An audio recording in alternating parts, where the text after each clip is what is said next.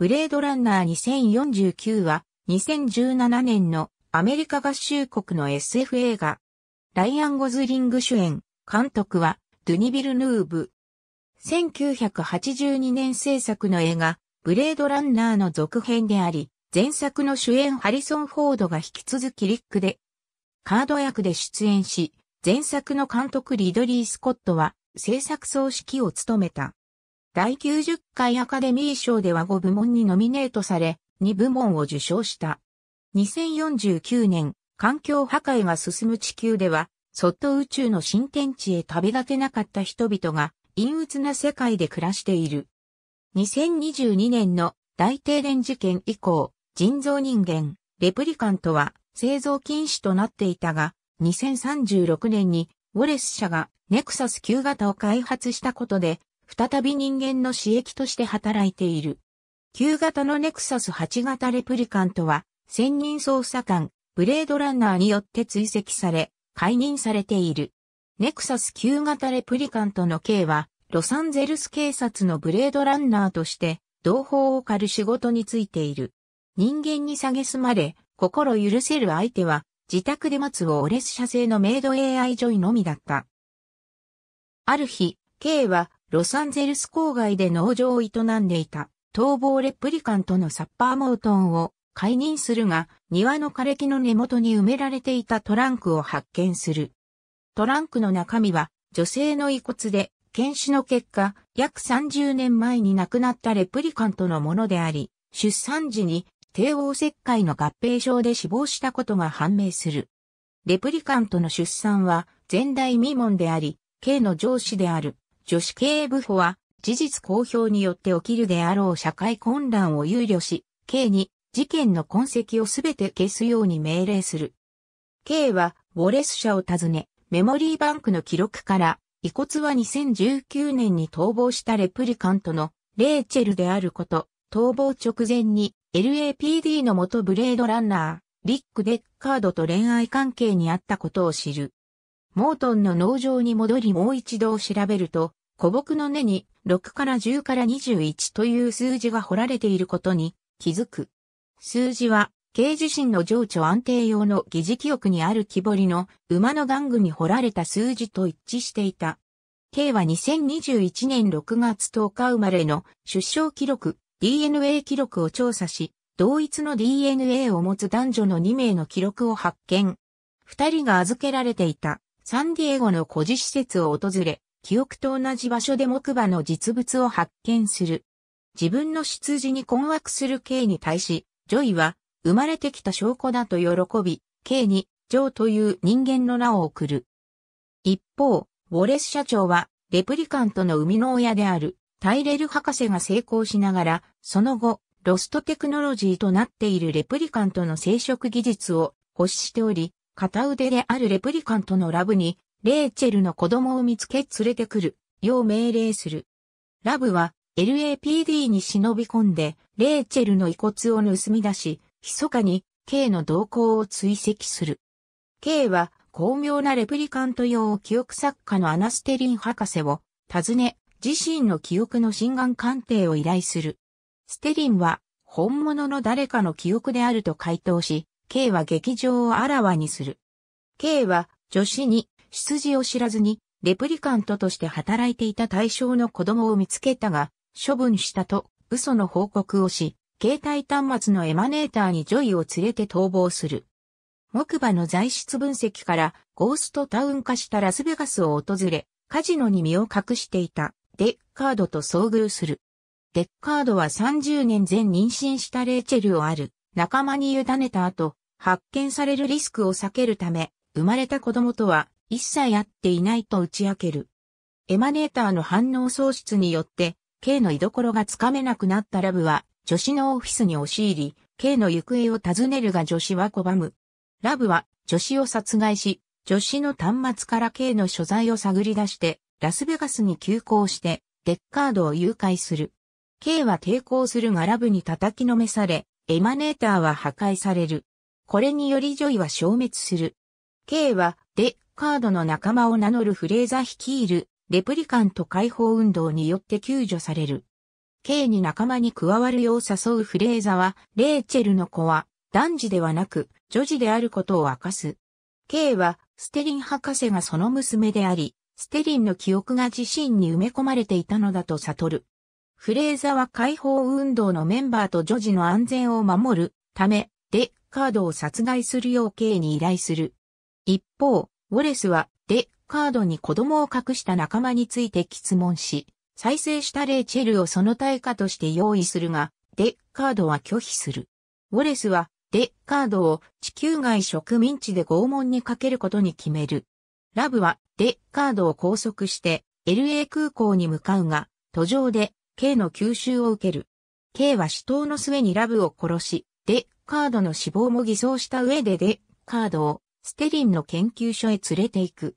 デッカードを見送った後、K は追った深手を確認し、降り続く雪を眺めながら、まぶたを閉じた。カッコ内は日本語吹き替え本作における2049年という舞台設定は、あくまで前作、ブレードランナー制作時に創造された2019年という未来世界の延長線上にあるため、デジタル機器の発達等は、現実世界のそれとは異なるものとなっている。K が登場したポリススピナーの劇用車ロスアンゼルスのピーターセン自動車博物館において2019年5月から2020年にかけて開催された特別展、ハリウッドドリームマシーンズビークルズオブサイエンスフィクションファンタジーにて展示された際のものサンディエゴコミコン2017に出演した監督と主要、キャスト、ブレードランナーの続編については1990年代中何度も話題になっては消えていったが、具体的な進展は1999年頃に始まった。イギリスの映画監督、スチュアート・ヘーゼルディンは、KW ジーターによる映画の続編小説、ブレードランナーに、ザ・イッチ・オブ・ヒューマンをもとに、ブレードランナーダウンと名付けた続編のプロットを書いていたが、権利上の問題から企画は中止となった。リドリー・スコットは2007年のサンディエゴコミコンに出席した際、メトロポリスと名付けられた続編の開発を検討していると発言した。共同執筆者のトラビス・アダム・ライトは、前作で制作総指揮を務めたバッド・ヨーキンと共に数年間、このプロジェクトに携わった。2008年までにこのプロジェクトを去ったジョン・グレンは、タイレル博士死後のタイレル社と辺境にある植民地について描くと述べた。2009年6月、ニューヨークタイムズは、リドリーと弟のトニー・スコットが、ブレードランナーの前日談、ピュアホールドに取り組んでいたと報じられた。最初に、ウェブと、その後、おそらくテレビを目指した一連の5から10分の短編として企画された。ただし、権利問題のため、このシリーズは、ブレードランナーの登場人物や出来事と密接に関連してはいなかったとされる。2010年2月7日、資金調達上の問題により、制作が中止されたことが発表された。2011年3月4日、ヨーキンが新しい続編を企画していると報じられた。また、クリストファー・ノーランに監督のオファーを出していたとも報じられた。2011年8月18日、スコットが続編の制作を指揮すると発表されたが、少なくとも2013年までは作業が開始されなかった。プロデューサーのアンドリューコソーブは、ハリソン・フォードは関与しそうにないと示唆した。スコットは、この映画を続編になる可能性があると述べたが、以前のキャストなしには、脚本家は完成させることはできなかっただろうとも述べた。2012年2月6日、コソーブは次のように述べた。フォードが続編に参加するかどうか議論があったことは間違いありません。断っておくが、我々がリドリーとやろうとしていることは、ストーリーの背骨を壊そうとする苦労の多いプロセスなのです。この映画の配役は現時点では全く考えていません。2012年10月、スコットは続編の可能性について質問されたとき、それは噂ではない。今起きていることなのだ。フォードとまだわからない。彼は年を取りすぎたか。そうだね。彼はネクサス6型だったので、あとどれくらい生きられるかは不明だ。今の段階で言えるのはそれだけだ。と、冗談交じりに答えた。2014年11月、スコットは制作総指揮に回ることを発表した。撮影は同年後半から2015年に始まり、フォードは続編の第3幕にしか現れないだろうと述べた。2015年2月26日、監督にドゥニビル・ヌーブを起用すること、脚本、原案として、ハンプトン・ファンチャーが再び参加、フォードも再演することが発表された。8月18日、制作の要金が死去、代役として妻のシンシア・サイクスが就任した。2015年4月16日、ライアン・ゴズリングと出演の交渉を開始した。彼は2015年11月、ビルヌーブと撮影監督、ロジャー・ディーキンスの参加を条件に出演を受けることを発表した。ディーキンスは2016年5月20日に撮影監督として雇われた。主な撮影は7月に開始され、アメリカ国内での配給をワーナーブラザースが海外での配給をソニーピクチャーズエンタテインメントが行うことが決まった。2016年2月18日、公開日が2018年1月12日と発表された。2016年3月31日、ロビン・ライトが出演について最終的な交渉に入った。4月2日、デーブ・バウティスタは自身のツイッターにてユニコーンの折り紙を持った写真を掲載し、映画への出演を示唆した。バウティスタとライトは4月4日にキャストに決定し、7月の撮影開始が確定した。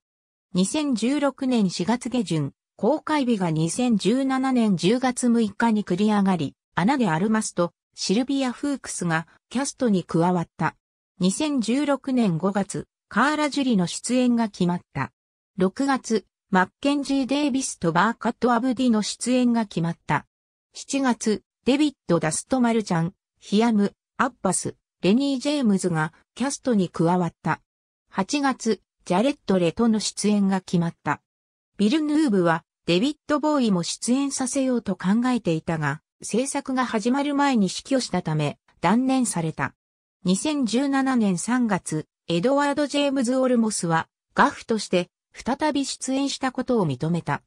2015年のトロント国際映画祭でインタビューを受けたビル・ヌーブは、で、カードが人間であるかレプリカントであるかという疑問について、プロット上は曖昧だと述べていた。ビル・ヌーブは、この映画は前作から数十年後の設定で、ロサンゼルスが再び舞台となり、地球の雰囲気は異なるだろう。気候は過酷で、海、雨、雪はすべて有毒になると述べた。主要撮影は、ハンガリーのブダペストで2016年7月から11月にかけて行われた。2016年8月25日に作業員がオリゴスタジオで映画のセット解体中に事故死した。ロサンゼルス周辺でも撮影が行われ、バーバンクにあるワーナーの野外撮影所、ユニオン駅、ブラッドベリービル、エニス邸など前作と同じロケ地も使用された。ワーナーブラザースは2016年10月初め、映画タイトルをブレードランナー2049と発表した。編集は12月にロサンゼルスで開始され、R 指定となることが予告された2017年のサンディエゴコミックコンでビルヌーブは上映時間は約2時間半だと語った。ラッパープロデューサーの LP は最初の予告編の音楽を作曲するよう依頼されたが、彼のスコアは拒否されたり無視されたという。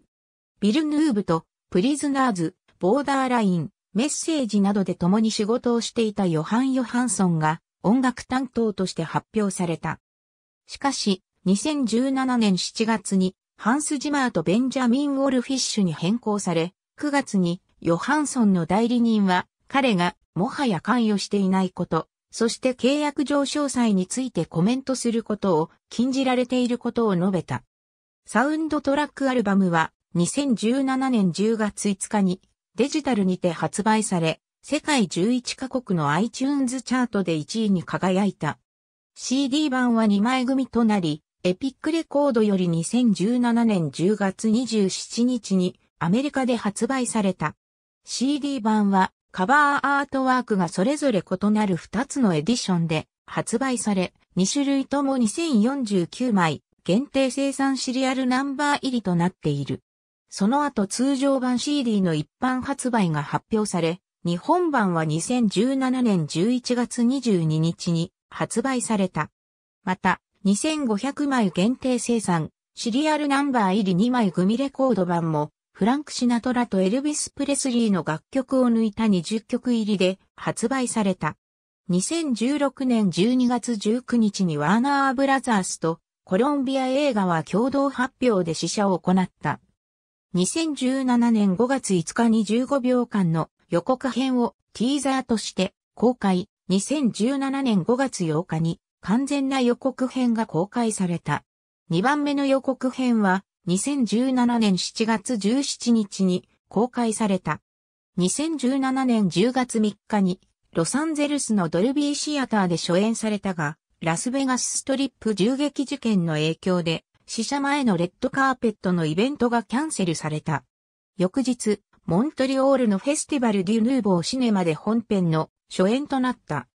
制作のアルコンエンターテインメントは、オクルス VR と提携して、そのバーチャルリアリティフォーマット専用にコンテンツを制作し、2017年10月6日の劇場公開に合わせて配信した。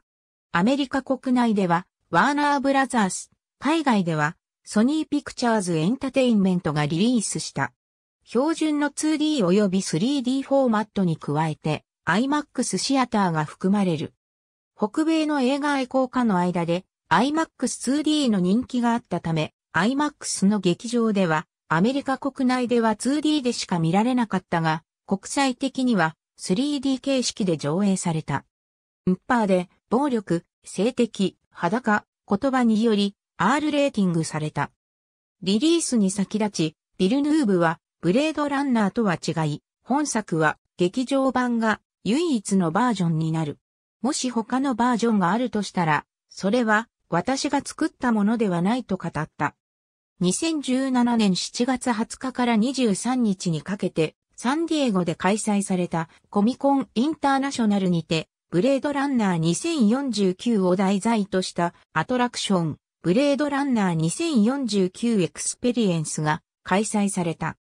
劇中のロサンゼルスのストリートを再現した会場では、作品のコンセプトアート、撮影で使用した小道具と衣装が展示されたほか、シアタースペースにて VR コンテンツが公開された。この VR コンテンツは3作連続での公開を予定しており、レフト4デッドを開発したことで知られるタートルロックスタジオが担当したブレードランナー2049レプリカントパースートが1作目とされ、2作目となるブレードランナー2049メモリーラボとともにギア VR 向けに無料公開されている。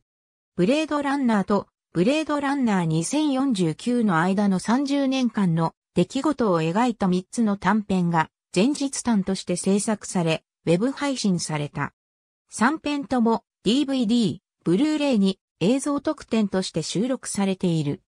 スコッチウイスキーブランド、ジョニー・ウォーカーがブレードランナー2049とのプロモーションコラボとしてカスタムブレンドウイスキー、ジョニー・ウォーカーブラックラベルディレクターズカットを3万9000本の数量限定で発売。ボトルはオリジナルの特注で劇中にも登場している。また、ジョニー・ウォーカーは同じくブレードランナー2049よりインスピレーションを得たカクテル動画シリーズ5編を制作した。アメリカ合衆国のビデオゲーム会社、アタリとの公式コラボレーションアイテムとして、スピーカー内蔵、アタリキャップのリミテッドエディションが発売された。限定特典付き前売り、ムビチケカードが2017年7月10日に2049枚限定で先行発売された。特典は、トメノスケブラスター1、5ミニチュアブラックエディション。通常版のムビチケカードは7月28日より2種類のデザインで発売された。特典は 3D ホログラムプリズム。映画監督、アニメーション監督など日本の各界の著名人が映画ブレードランナー2049を語る動画が公開された。デッカード役のハリソン・フォード、ジョイ役のアナ・デ・アルマス、ラブ役のシルビア・フークス、監督のデニ・ビルヌーブが来日。来日記者会見が2017年10月23日に東京、六本木のザ・リッツ・カールトン東京で開かれた。ハリソン・フォードの来日は9年ぶりとなる。4人は翌日10月24日、 TOHOシネマズ、六本木ヒルズにて開催されたブレードランナー2049ジャパンプレミアに登壇。舞台挨拶を行った。日本では2018年3月2日に発売。発売、販売元はソニーピクチャーズエンタテインメント。本作は全世界合計で2億5920万ドルを稼いだが、1億5000万から1億8500万ドルと推定される制作費で利益を上げるには4億ドル程度の売り上げが必要であり、8000万ドル程度の損失を出したと、ハリウッドレポーター誌は報じた。映画批評家レビュー集積サイト、ロッテントマトズでは、2017年12月22日、現在336件のレビューがあり、批評家支持率は87%、平均点は10点満点で8.2点となっている。メタクレティックには53件のレビューがあり、過重平均値は81、100となっている。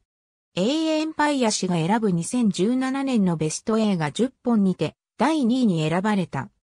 制作総指揮を務めたリドリー・スコットは別のストーリーがあるんだ。もう一つ進めたいと考えているものがあって、すべきことが確実に一つはあると、ブレードランナー2049とはまた別のブレードランナーの続編の構想があることを明かした。ありがとうございます。